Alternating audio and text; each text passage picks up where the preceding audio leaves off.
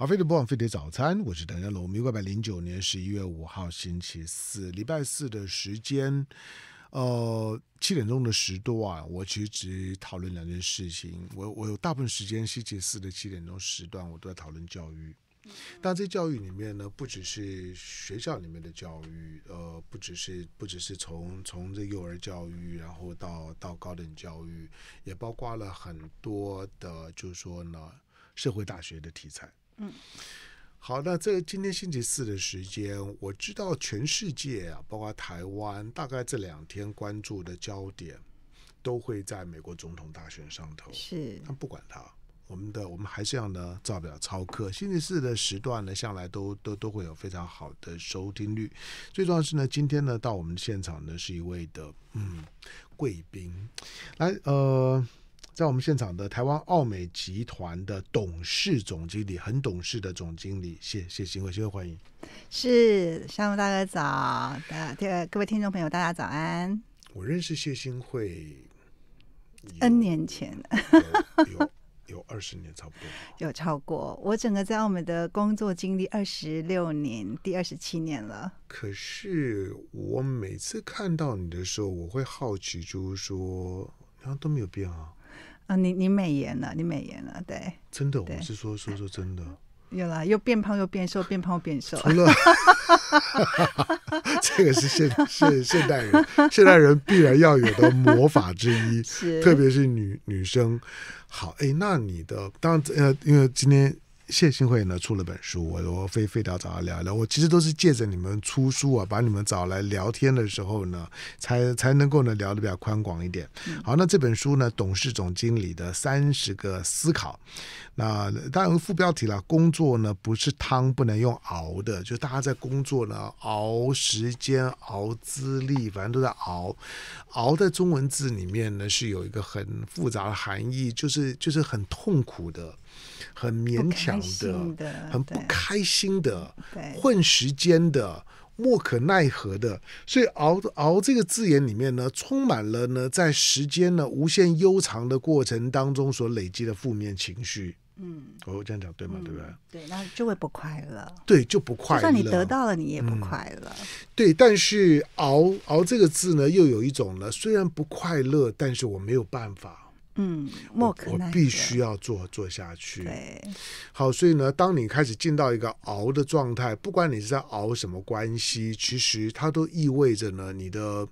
你的你会呢身心俱疲，但是呢又又无法挣扎，那才叫做熬。嗯，好，但是呢，谢新会呢在在写这本书里面呢，在谈到就是从一个从个董事总经理的一个角度来讲呢，在告诉你，面对到工作、面对到职场关系的时候，你不能够用这种熬的态度，熬了会让你觉得每一天早上起床都很厌世。是。是，那其实那是一种负能量。你想想看，在工作的环环境跟场域当中，这些负能量其实不会让你的表现是好的。嗯，那其实我觉得现在的人的工作的观念跟态度跟过去不太一样。嗯，可能早期是把爬梯子的一个阶层一个阶层，哎，做到了就给你升官，就给你发财。嗯，但现在的人呢，通常不太怎么样。嗯，其实是因为要有战功。嗯，战功呢，已经是现在评估你能不能升职，或是能不能得到一个更高的这个职位的。一个指标，嗯，所以以前认为就是没有功劳有苦劳，我们觉得有苦劳就够了，其实早就没有这个这个游戏规则了。所以你应该想办法在你的喜欢的工作的领域当中，找到一个你自己可以适合打仗的位置，然后想办法呢，帮你自己、帮公司、帮你的客户，找到一个非常好、做到一个非常好的一个成绩。那我觉得其实现在世界还蛮公平的，如果你真的能够做到达到有个适当的一个战功，我觉得呃，假以时日。你一定可以得到你想要的这些成就。好，你刚你刚刚讲的这这句话，可能是在职场当中的经典语录。我们常常挂着呢，我没有功劳有苦劳。嗯，意思就是说我很努力了，虽然虽然虽然呃整个整个事情的，就是说呢成成功并不归我，甚至于可能的失败呢，主要是因为是失败跟我有关。嗯，可是我很努努力啊，你你你你不用把所有的失败的账都算到我我身上啊。嗯，好，但是我们倒过来讲，在职场上面能接受就是说呢，只有功劳没有苦劳吗？嗯嗯，其实我觉得以现在的的状况来讲的话，多半如果有功劳有苦劳，我觉得这是第一名的，对不对？老板又看到你很努力，偏偏你做出来东西很有成果，那我觉得这东西我一定是优先把捉它。我自己也希望朝这个方向去做啊。但假设今天必须有个选择的状况，功劳跟苦劳的情况之下，功劳一定还是比苦劳要亮眼。嗯，那因为这个东西现在所有的职场上都会评估你工作要有 KPI 嘛，KPI 指的就是那我们一开始这个事情要做到什么目标，我们把目标定好，要做哪一些指标，证明这个案子做完或这个客户做完会成功。那因为有指标，有指标其实是很容易可以对照，做完之后成功一、成功二、成功三，没成功三、没成功四、没成功五，那我们就可以去依照这个东西来作为我们的一个评估。那我觉得这个评估越明白越清楚，其实最后比较不会有那种就是我有我我付出了，我这么努力了，为什么你不给我我要的？那我觉得这个是在。老实说，有些时候把丑话说在前面，还是有那么一点好处的。嗯，对对，因为这种的观念，在我们现在现场的是这个奥美，现在是台湾奥美集团的董事总经理谢新慧。我认识谢新慧的时候，谢新慧应该还是个小女生，现在也还是了。嗯，我今天会当做你说的都是真的。等一下，我我问你啊，好，那 好。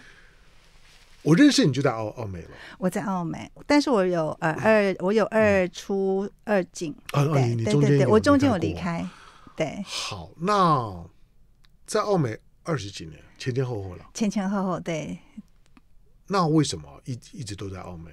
显然显然你既有功劳又有苦劳。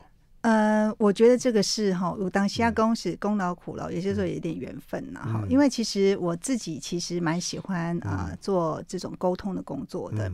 那因为我小时候很爱讲话，然后又很鸡婆，然后然后呢又很爱看电视。你知道我们那个年代看电视，明明要明明要明明要高中联考，我还在看楚留香，看到没办法停，你知道吗？所以其实我觉得喜欢传播那个是我的本职。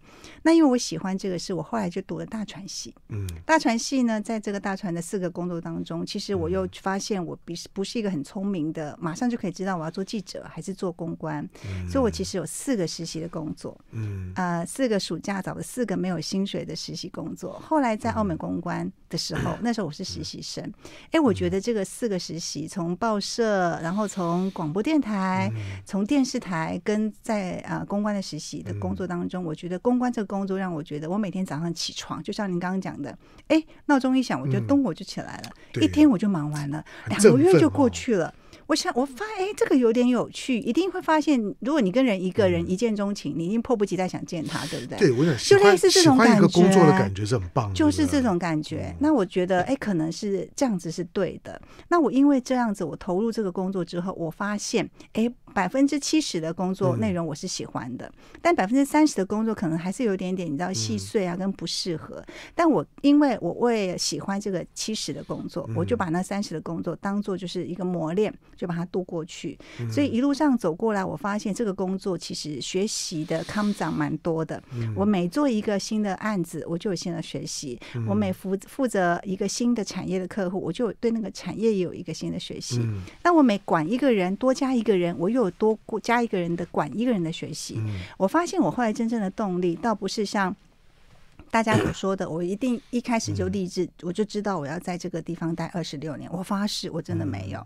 可是我可能很坚持的一件事情是，我希望在这个领域当中，第一做的是我喜欢的事，第二件事情是我可以不停的有学习。这个学习就像是一个吃吗啡一样，我觉得有新学习东西，再苦我都觉得有趣。那第三，我可以帮助别人。那因为其实我的工作是代理商的工作，代理商的工作其实我并没有生产一只手机或一只一一部车子，但是我帮手机的客户做行销，我帮车子的客户卖更多的车子，我就觉得哎，那是帮助客户成功。那我们的行业其实成人之美的工作，就客户成功，我才有成功。那我感觉这个是蛮像我自己的。我今天如果像嗯唐大哥这么帅。我每一天都站在幕荧光幕前，我就觉得很开心。可是我比较喜欢在幕后，我喜欢在幕后筹划这所有的事情，规划这些策略呃创意，把这些苦工做完，看到我的客户在台前像金城武、像许像这个呃林志玲一样的接受呃消费者的喜爱的时候，我觉得我很我很开心，我就宁可在幕后默默的待当个比如说像李安这种导演的角色，哎，这整个个这个这个呃因因为啊你好我好，然后大家才会好，这个工作的模式我自己还蛮喜欢，所以其实是因为这个原因，我就觉得这个工作很很好。那加上其实老实说，如果我真的喜欢在这个领域当中，其实我的公司我的公司奥美已经是这个业界的最好的了。然后我呃在台湾的客户很非常的 local，但是我国际的客户非常的国际，然后就很多的知识的喂养。对，那当然困难困难是更多啦。但我觉得这个事情就是克服困难之后得到的成就，得苦得乐，所以就一路到现在。对啊，工工作其实到一旦有一些工作经验，你就发现一个能让自己成长的工作。蛮重要的，非常重要，蛮重要。如果你的你的工作是没有什么成长的，或者你觉得你工作了两个礼拜、三个礼拜之后，你就觉得开始很 routine 的日复一日了，那那个工作其实适不适合作为你的终身职业就要考虑了。嗯，好，那在我们现场的呢是奥美呃台湾奥美集团的董事总经理谢新慧。谢谢现在刚刚刚讲的，就是说，第一个，我因为我我之前访问庄淑芬，我我我其实一直都有点困惑，我我就觉得台湾的女女女生比较厉害。啊，我我我我是说，台男生也很厉害啊。对，我我不是在在在恭维你们，不只是在在公关啊、广告这些行业里面。对，我说台湾的女生比较厉害，包括你说像在体育圈子，你看现在能够能能够，我台湾只有球后没有球王，在全市就是所有的比赛都有。你看我们有，你讲真的耶？对，我们有网球球后，有羽球的球后，都是世界第一的。有高尔夫球球后，都是世界第一的。可是男生有哪一个？嗯。让我想一想，所以所以就是台湾的女女生真的真的比比较厉害啊，嗯嗯嗯，好吧。不过因为因为刚刚谢呃谢清慧谢谢清慧讲的是是错，就是我不是因为因为自己觉得自己适合在那荧光幕前面，所以我在我是完全相反的，真的，我我是因为我是完完全全是因为。是因为知道自自己很自卑，觉得自己没有任何的条件，包括我的表达能力非常不好。嗯，我讲话怎么可能？我没有你，我没有你，我没有你，你那种就是说，虽然是女强人，可是呢，可是讲话呢非常轻柔的特质。嗯哼，我讲话会结巴。嗯哼，我讲话，嗯，我从小呢讲话就被他嫌。嗯，就觉得。除了会笑我，魅力吧？是不是魅力？不，你问你问我王王伟忠，我上个礼拜才访问他，我我我我就说我最讨厌访问王伟忠，因为每次访问他，他都会笑我。好有趣哦！他一定会笑我，笑我讲话会结巴这件事情，好吧？当然现在的结巴没有那么严重，但是但是王伟忠刚认识我的时候，或者是我更小的时候，我那时候刚进新闻圈的时候，我结巴的厉害了。嗯，我结巴到就是说我根本要叫一个人的名字，我要叫王伟忠是叫不出来，我叫王王王王王王王王王伟忠。你你你觉得像这样的人能工作吗？嗯，铁定不行啊！你要是奥美公关，我管你是不是董事总经理，你铁定不会用用我的。不会啦，真的不会，真的。我们要有观点，还有对的态度。因为我觉得，我觉得，我觉得那个他哥的观点永远可以很犀利。那个是本事，我也觉得。可是哦，可可是，可是在那个年纪的时候，你怎么可能谁谁管你什么观点？你才二十几岁。嗯，好，那那我我因为我自己知道自己的弱点，我的老师也告诉我，就是说，嗯，你的的表达能力有问题。嗯嗯。第二个，你的文章写的不好。嗯嗯。所以。老师就告诉我说：“你以后毕业了之后呢，你不要做那个要抓笔写文章的事儿，嗯嗯，你也不要做靠嘴巴讲话的事儿。”他说：“这种事儿呢，你恐怕都做不来。”那我问他说：“那我还能做什么？”嗯，老师说：“你去考公务员吧。”真的，他要当公务员。我听完了之后呢？大受鼓舞，我就决决定一定要朝着老师讲的相反的方向走。你这老师，你这老师最近有见面吗？有有有，他他他他跟我，你有没有访问他？很好，我好想知道。他很好，他他他对我很很好，对我这一生影响很大。我我只说，我听完之后我就说，哇，那我要照老师讲的。还是他用的是激将法？不是，他才才才不是激将法。他他他是一个呃春风化雨的老太太。啊哈，好，那她她那时候劝我，她绝对是发自内心，她很担心我这辈子会受挫。因为爱才劝你。对他只觉得说，嗯，这辈子不要不要对对自己太抱着怎么样的期待，反正你就是安安分分的过日就好。但是我想说，我说这样，那我那我这辈子我还能干嘛呢？我能做事儿就不多了。嗯嗯嗯。所以我就决定了，我就要反其道而行之。所以呢，嗯，即即使会被他笑，我都要去。所以我我就决定要进媒，努力吧。我就决定进媒体这一行。OK，又是拿笔，又要靠嘴巴，你就知道我我为什么做这，我做这一行并不是多么成功。这位老师，真的，他成功的激励 了你，跟你是不一样的。好，不过哎，你在澳美，毕竟做个公关。对，当然，因为奥美如果最有名的是就是公关了，但是其实你们并不是只有这广告也很棒，广告是其实领头羊，公关、广告还有网络社区、社社区，对，数位，然后数据这些东西都要好，但是这些都跟人有关，对呀，所以对呀，谢欣为这这些时间阅人无数。嗯，真的。所以在人的人的管理上面，我我相信你应该包括你的你的书里面所提到的，其实都在告诉大家，嗯，面对面对职场、面对工作的时候，嗯，该有的态度。嗯，好，那你说工作工作不要用熬的，谁不知道？每每个人都想像谢谢新会一样，一开始就找到了一个哇，就是嗯，就是觉得有什么工作适合我的。嗯嗯。第二个做了之后也适合，而且很兴奋。每天早上起床的时候呢，不挣扎，不挣扎。我跟你讲，起起床之后要要上学的，不想去上学；要工作的，不想去工作。那个是那个是我觉得人生最痛苦的事儿。嗯嗯，因为你还是得要去。嗯，是啊。但是。谢新会没有，谢谢新会刚刚讲的是早上起床，嘣咻就就起来了，对，就觉得精神抖抖擞。今天呢，又又又是非常快乐，对，充满战斗力的一一天。那到底是你个性的问题，还还是你的你的你的心态的问题？嗯嗯，这个过程里面呢，其实刚刚讲的是很理想的状态。嗯，其实你就算喜欢一个人，嗯你中间也是会有有的没有的吵架，对不对？哈，不可能永远顺遂的。那我喜欢这份工作，其实我在这份工作也。也跌了我第一个大跤。其实我第一次大撞墙，工作时候大撞墙，就是在奥美这份工作里面。其实我曾经离开过，呃，第一次离开是我工作大概两年、两年半左右。我发现我的能力跟我的呃身体的负荷不了。其实我是有离开奥美的。呃，第一次离开是因为我的甲状腺亢进的毛病。是因为是因为工作很累吗？工作很累，然后我不知道求救。我觉得当时最大的状况是因为你知道我们你看到我们公司看过嘛哈，那个每一个人都是国外回来的，然后讲话那个英文都倍儿溜的哈啊，然后穿的起来阿玛尼有没有？你有没有看到我们公司的人哈？你这种的感觉是不是？我大学刚刚毕业，土妹一个，进到这个环境当中，英文又是一个差到不行。你刚刚讲到，哎呀，你刚刚讲自卑，我真的完全的同意。好了，那我只能靠努力，对不对？更努力，对不对？可是我更努力，并没有努力对方向。嗯，我呢虽然很努力，可是我没有好好的在，比如说工作过量的时候求救，嗯，或是这个事情我不清楚的时候没有把它问明白。那因为我不好意思问嘛，怕人家觉得我很笨嘛，这怎么这你也不懂，你也问，所以完全的就是跟起来，跟在那边。所以我其实有 crash 过。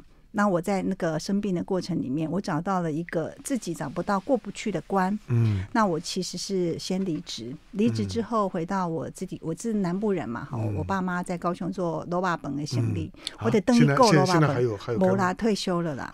好可惜，要不然我就试一试。我也好想念我爸的卤肉饭。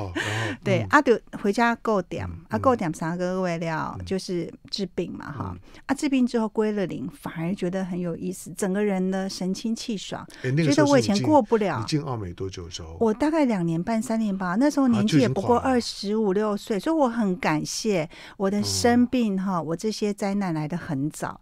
这个来的很早。进澳美之前没有这个问题，没有。而且我并不知道我家有这个基因，家里面都没有人发病，因为你知道这是一个遗传性的疾病。我后来发病之后，我爸爸才发抗进。抗进，对，就是你知道那个大脖子，俗称大脖子，那个那个对女生很惨的。第一个。会大脖子，对啊，好丑哦。个，第二个眼眼眼睛会凸，会突突的，对，会凸眼睛，而且凸眼睛之后，你不是说 OK 补充了什么东西之后就会好没有哦，没有消消不它就是你身里面的一个非常重要警报器。对，对其实我已经好哦很久了，大概嗯二十多年检查都没什么大问题了。嗯但我自己会知道，如果我今天的状况，嗯。比如说我太过焦虑了，或是我很比生气了，其实我的心里面是有一个有一个警报器，它会稍微让我的心跳其实稍微快一点点。哎、我觉得它很好、哎，它好像就是我内建的一个系统，我就知道说，哦，我现在太急了，慢下来，嗯不要跟人家讲话，不然你可能乱骂人。然后现在只走开一下下，然后嗯呢，五分钟后再回来，这个现场就会好一些。或者现在太急了，现在不要再做这件事了，我应该再去做点什么，再回来。所以它其实是呃早点点让我知道我怎么去管理我自己的身体跟情绪。所以你自己觉得你的抗压性怎么样？呃，我觉得我抗压性超好的，自己这样夸 OK 吗？超好，就好到就是说自己身体出问题都过量了，可能就不知道，这也是另外一个呃另一个方面的诠释啦。所以我现在因为年纪到了一个状况，我觉得我这些跌倒的过程挺多的，才会觉得我应该把这个事情好好写一写。我都说我这个作品啊是一个诚恳的跌倒之作，我不见得哪什么地方都告诉别人我做的很好，但是我在什么地方跌倒的，我希望在书里面都把它写清楚，嗯。因为一般人会觉得说哇你是外商公司总经理，你一定是很幸运啊，或是很多人宠爱你啦，你每件事都做得很好啊，所以会看不出嗯。来，其实每一个人的背后的故事，其实都是有他自己的一个起来有字。嗯。那我希望在这个地方上面，因为现在这个时局，年轻嗯。人其实老实说找工作都蛮辛苦，其实好多的孩子嗯。连读大学都已经是贷款的耶。那个我妈妈在那时候再怎么辛苦，她都没有让我大学贷款。我顶多是打工，可是现在好多的呃大学生大学生啊，其实都贷款。然后现在二十七八岁的年轻人，嗯。我发现他们有工作一份、两份、三份的，其实是蛮常见的。嗯。也就是说，其实我希望让大家理解，我们每个时代都有每个时代人的工作的一些呃辛苦，嗯。但你要怎么克服，你可能可以找到你自己的方向跟目标，就是就 never give up、对，我不久之前我还我还骂我儿子，嗯。我嗯，说你再不好好念念书，你现在一学期的学学费够你爸爸呢从从从小学念到大学，是的，是的，他们觉得不可思议，他说怎么可能？我说 公立学校不用钱啊，那时候念念大学的时候，你几百块啊，对啊，我念我念我念师大附中几百块啊，我念台大几百块啊。然后他还问我说：“那你念研研究所呢？”我说：“我告诉你，那个念那个时候念研究所更好，不但不要钱，教育部每个月还给我四千块，你知道吗？你知道那个时候四千块有多大吗？哦，真的，对是，他就不可思议。当然现在现在不一样了，所以所以其实每个孩子每个时代的孩子面对的情况不同。真的不同。好，在我们现场的呢是台湾奥美集团的董事总经理谢新慧。我在访问谢新慧的，当然第一个谢谢新慧掏肝掏肺的把他的把他的职场的这一路走过来，心路历程跟跟大家分分享，他也没有没有隐藏，他他有挫折的地方，他有他有迷惘的时候，然后到今天成为一个一个台湾呢台湾的一个一个最大的嗯广告公关的嗯一个、一个一个的一个传播集团的董事总经理。你知道我我不知道为什么我为什么遇到的外商的董事总经理里面女生的比例超高。嗯，因为我觉得我们这个行业啊，还是比较是嗯需要理解人的需求、同理心、服务的。我都说我们是嗯一个服务的一个顾问业，但是我们的产品是知识的服务，嗯所以因为它还是一个需要跟人相处的。我后来也觉得，我们的公司的比例大概六成到七成左右是女生，真的哦，三成两成是男生，对，这是一个现况。对，哎，可是我发现现在在一般产业当中的做行销哈这个领域的职位的人当中，其实女性也占蛮高的比例耶。所以我我常常就会有一个困惑啊，我觉得台湾男人死很哪优秀哪里去了？没有啊，就是按半导体业吧。台湾男人准备准备准备去当兵吧。好，来这这这本书呢是时报出版董事总经理的三三十个思考。那工作呢不是汤汤，你可以用熬的，你可以去煲汤，可以去熬汤。可是工作呢，如果就算不要不要让你一跃而起，可是如果工作不会，我我我一我我就跟跟年轻人讲，我说你不要问我什么工作适合你。我我觉得每每个工作，只要你能够做得下来，其实你都可以做。嗯，最后会去支撑你工作的，其实是成就感。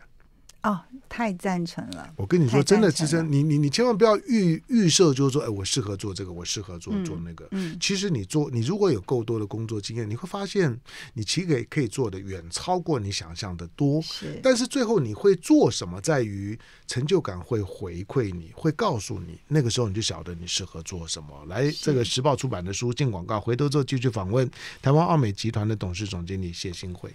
好，飞碟播网飞碟早餐，我是谭家龙。来，民国一百零九年十一月五号星期四，那礼拜四的时间，今天我特别访问了台湾奥美集团的董事总经理谢新慧。只要你是在台湾的广告公关的领域里面，没有人不认识谢新慧了。好，那这本书呢，董事总经理的三十个思考工作不是汤不能用熬的。那谢新慧呢，掏肝掏肺的把他的这个职场的血泪史，把它写下来，那把它归纳成了三十个这个不同的观点。好，那这是时报出版的的书。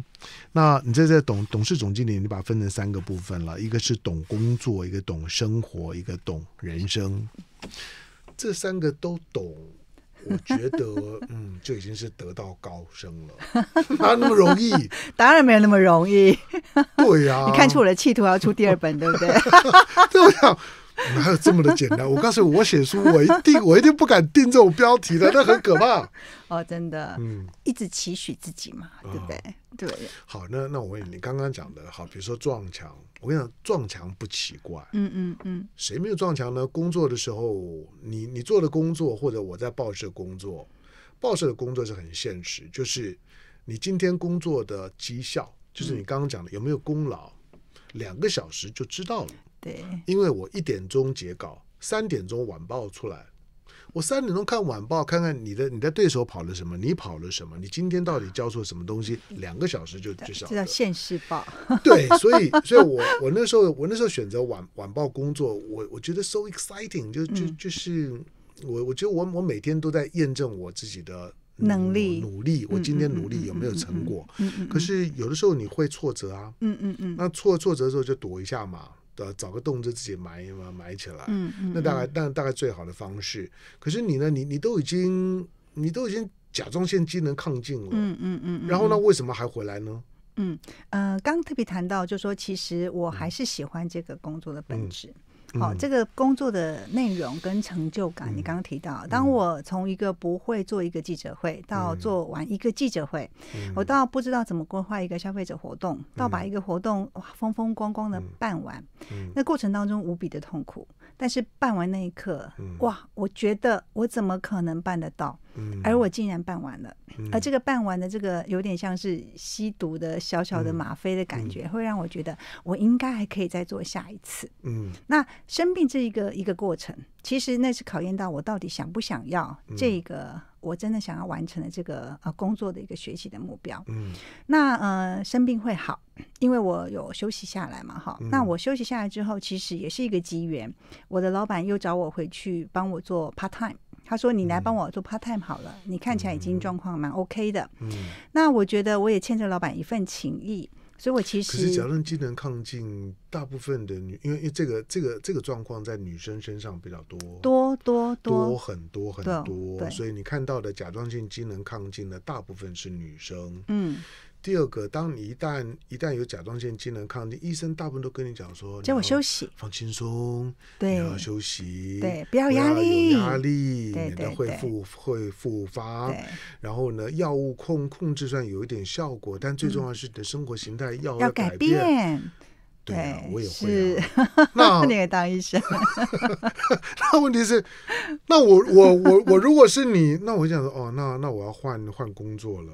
嗯，那你为什么还回去？我觉得这个这个医生跟你的那个嗯老师有异曲同工之妙，我觉得他越这样他鼓舞了你对不他也激励了我。嗯我觉得他他对我越这么说，我越想说真的吗？那其实真的吗？是经过验证的啦。刚提到了，我回去 part time 之后，我发现那个三个月，因为所有事情归了零，客户也不一样了，嗯呃，工作的伙伴也不一样了。那三个月呢，如鱼得水，嗯竟然呢，在工作很快的就完成之后，还得到很多客户的激赏。嗯所以我老板就告诉我说：“哎，其实你蛮 OK 的耶，你要不要考虑再留下来？”嗯我当时当然第一个问题是说：“哎，我真的还蛮喜欢这个事。”第二，我已经知道生病是怎么回事了，我已经开始在治疗它了。嗯那么第三，我感觉现在如果往下去，就是我也没有薪水，我也需要有份薪水过生活。嗯那刚好这个地方其实都很熟悉，那我可以再试试看。其实，呃，刚刚提到的，当我这么念头一动之后，很多困难。嗯我就会想办法去克服跟解决它。嗯所以我在第二段回到澳美，我在第二段回到澳美之后，其实是我攀升最快的时候。我第一段卡关卡超久的，但是我第二段回到澳美之后，因为我接着的工作的内容比较多，都是做企划的工作。嗯呃，我可能比较不擅长做非常多计算啊、时间呐、计算钱呐、这种比较细节的工作。那个地方是花我很多的能量去做不好的地方。但是开始在想案子、想创意、规划整个的客户的这个案子的格局，是我喜欢的工作。后来事实也证明我的能力比在这比较在这个部分上面。所以我第二段回澳美，我简直就是像是云霄飞车一样的飞奔。我大概在第八年就做到了我们公司的总监。那时候我又遇到了一个大的天花板。太厉害了，因为我开始在做的事情就是比较适合我的专长，就像您刚刚提到的，如果你是一只鱼，就不要往水里去嘛。如果你是一只鱼啊，如果你是一只那个呃鸟，你就不你就啊，如果你是一只鱼，你就往水里去；如果你是一只鸟，你就当然在天上飞嘛。那我觉得找到了自己这个位置之后，我就发现其实是蛮蛮开心的。要先认识自己了。对，认识自己之后，你就可以找到自己擅长的事情嘛。哈，那但是我在我工作第八年的时候，我又开始觉得不满足了。嗯那不满足来自于我觉得我有一个天花板，啊突突破不过去，包含呃我可能希望有更好的一个前景啊，比如说我希望能够有承担更多的责任，那我对于客户的生意、气管的东西懂不懂？那我的外文能力能不能支持我在有更高的呃，在跟这个外国人沟通的时候更顺利？所以我其实，在那时候也是第二次放弃了我的工作，嗯，呃，到英国去念我的硕士。那时候那时候你几岁？那时候我大概三十，所以我在三十写了一个死前的十个事情的清单，嗯好、真的很认真哦。我真的写了十件事，我死前必须做的事情。那里面就有一件事情，就是呃，到国外念书，拿一个硕士，嗯然后呢，把英文练好也是一个事。然后呢，有一个国外的 long stay 的经验也是一件事啊。当然，交个男朋友是一件事，我就毕其功于一这都一。做完之后就死而无憾了。然后当时不瞒你讲，写一本书也在那个清单上。哦哦，你看我花了这么久才把 这个清单这个不错啊，划掉不错啊。当时也写一本哦，书，在我三十岁那一年，很有目标，很有挑战性哦。嗯，对，但是嗯这个有些事情完成之后，现在多呃多了好几件，嗯 再慢慢加上去的愿望，这样子。嗯，对，当然，以前有有一本有有本有一本书还蛮卖座的，叫做《三十五岁前呢要完成的三十三个愿望》。哦，这个我很我很买这种单呢。对，就说就说就是你给你给自己目标设定在那边的时候，我我觉得大部分人都会，每个人其实都会有梦想，都会定目标，差别就在于你定了之后，你如何去去实践。是，其实人跟人之间绝大部分的差异都在后面的那一段。嗯嗯嗯嗯，如果只是说我要什么，我要什么，我要很有钱，我要我要有男男男朋友，我要我要我要有个有有车子有房子，那个每个人都都差不多。好，我跟你讲完之后，然后呢，那你怎么做？嗯，嗯你如何呢去实践走到那一步？你有没有念之在之？其实大部分人到最后呢，去去归咎于自己在职场上面成败最大的差异，其实是在你的行动力上面。嗯你如何去实践自己的梦想？后面那段比较比较重要。好，在我们现场的呢，台湾奥美集团的董事总经理谢新会啊，这本书呢。谢谢新会第一本书看起来还还有第二本。好，那董事总经理的三十个思考，那工作不是汤不能用熬的，时报出版。那进广告回头继续跟谢新会聊。好，非常不枉费的早餐，我是谭家龙。那今天在我们现场的台湾奥美集团的董事总经理谢新会，谢新会呢，他自己呢，自己呢，把他自己的职场的工作的经验，平常都是在在作为一个职场的最大的助力跟推手。大部分的企业或者在职场上面遭遇到困难的时候，可能就是呢，谢新会就就是澳澳美呢可以进来的时时候是需要澳美的时候。好，不过谢新会呢自己呢在整个工作职场，大家看到的都是他们成功的一面，一个成功的女强人、成功的女性的那一面。但是大部分人都很难想象那个成功的背后，其实他真的都每个人都有一段自己的故事，跟一个今天来讲是一种的成功职场成功的心法。嗯，可是那个心法在没有成为心法之前的时候，多半都是一段呢自己可能讲起来会有点心酸的心路历程。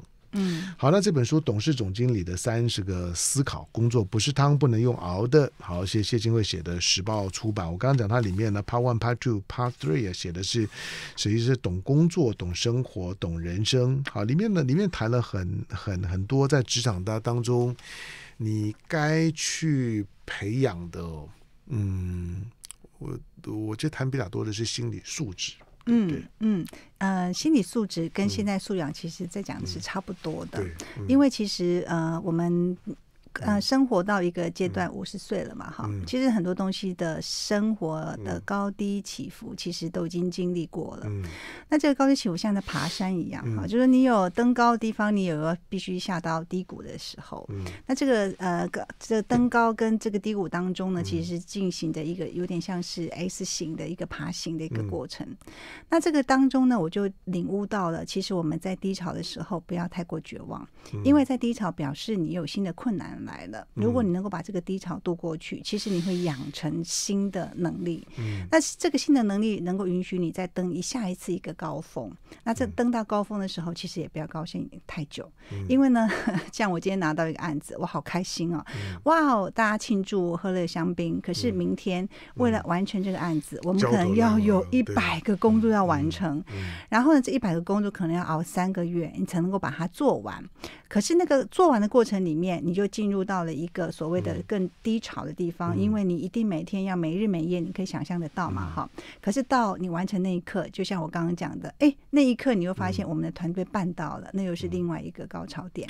所以这是一个很自然的状况，低潮是正常的，各位。两个两个问问问题做结尾问你，第一个，当你的低潮来的时候，是。你自己怎么处理？嗯嗯，低潮来的时候，先确认一下我现在目前的状态，这是为了一个嗯工作能够完成的目标。那么我需要自己做得到吗？如果我做不到，需要什么样的来帮忙呢？嗯，然后我就去安排。好，所以这个地方上，先把情绪放一边，不要因为心情影响了事情。OK，当你把事情解决了之后，你往往会发现，你本来有的心情、那些情绪也会不见了。嗯，甚或你在消化情绪的时候，那时候你会比较坦然，因为你事情已经解决了。嗯，OK，那第二件事情是，如果那个低潮持续比较久，你可能要检查一下自己的状况，是不是呃身体有不舒服？有时候是身体因素。因为你如果真的就是生病了，你一定要啊去看医生。你不能期待这个生病你会会自己好的，不会的。那如果其实不是这个问题，只是你情绪上面真的低潮很久，那我觉得有些时候你可能要休一点假，嗯，也许去啊旅行，也许去看一场电影，让你的情绪转念，把它转化一下。转化完之后，你会发现，当你的心里面是比较清明的、比较干净的，那么来看事情就会更清楚。在那时候，说不定就会有一个更好的解决的办法。对，但不要一个人。我常常担心的事情是，因为我过去犯过一些错误，就是觉得这个困难要自己解决，所以有吃了一些亏。那我现在希望就是让比较多人知道，说其实你有困难的时候，你是允许可以说出来的，请对的人帮你忙的。嗯，对，可以去求救、去求助，那是好的态度。好，最后一个问题是你有没有开除过人？有，当然有。你可不可以简单讲，你当你当谢新会经历过这二十多年的职场的时候，当你要挑一个员工的时候，嗯，你你的你的标准是什么？嗯，好，我先说为什么我说开除人，因为我也被开除过。我在第一次离开的时候，是我的主管说他不要带我了，ok 所以因为我有这个心情，我了解，我了解，其实很沮丧。嗯，是沮丧。可是我后来认真的想，我如果当时那个状况，我如果是我的老板，我可能会开除我自己。这是一个真的心情的反思。所以对我来讲，我现在在跟职场上的这个年轻人在在谈话的时候，我会说，其实今天如果不适合这个工作，不是你不行，或是你能力不对，而是你现在目前对这个工作你并不是符合你的本性，或是你。在这边得不到更好的表现。如果是这样，你要赶快离开这里，去找你真正适合的。让你能够发光发热的地方，所以我会用这个方式来跟他们沟通，就是你不是不对不行，或是你能力不够，不是，是你不合适。当我们把角度这么调整的时候，其实多半能够跟你对话的人都能够理解，其实你是为了他好。如果你再待下去，其实你浪费的是你的时间。好，这大概就是谢金惠刚刚讲的，你你可能是一只老鹰，但是我现在需要的是一只鱼。是。第二个，我常说人。人其实，在跟你的工作之间的磨合是有一个摩擦系系数的。如果你学过物理，就知道什么叫摩擦系数。摩擦系数太大的时候呢，你这一块，你这个这个这个球，这个石头是滚不动的。嗯，那你有可能呢是在一个嗯，就是摩摩擦系数非常大的环境，所以你并不适合那那里。那那也没有什么好沮丧的。我的我的我的态度是很阿 Q 的。本人这辈子只开除老板，我我觉得不让任何老老板有开除我的机会。羡慕，没有啦，这个开玩笑的啦。就是说，最最少让自己的工作呢保持保持新鲜。我一直，我最少到这个年纪的时候，当跟谢谢金辉分享了，我一直我我一直努力，就我每一年。我如果手边没有增加几份新工作，嗯，会让我觉得很兴奋的，嗯，那我就觉得我这一年就白混了，就会觉得很沮丧。到过到到过年的时候，呢，连年都不想过。是，你一定要有些新的新的事，对，就觉得哎，今年又又又学到了什么什么些新东西，或者参与了什么新事物，那个时候才会有兴奋感。难怪你最近直播那么多。对，那那这这是这两年新的，是不是？是有是有是有成成就感的事儿。对，因为他的真好，他的回馈也是非常快。我我刚刚讲说，以前在报社的时候呢，你今天表现好不好，两个小时知知道，直播也下一秒就知道。直播 基本上面，你当天完了之后看你的点点阅，那那个是很清楚，都骗不了人的。好，今天呢？礼拜四的时间，在我们现场的台湾奥美集团的董事总经理谢谢金慧，感谢，谢谢谢堂哥。好，这本书呢，董事总经理的三十个思考工作不是汤，不能用熬的。那不是让你比聪明、比比天赋，而是让你让你有认识工作、认识自己的机会。人跟工作之间的磨合是一个很微妙的。他有些经验，有些心法，有些属于很个人的，有一些呢是可以交换交换这自己的心得的。来，书大家自己找来看，时报出版来进广告回的新闻。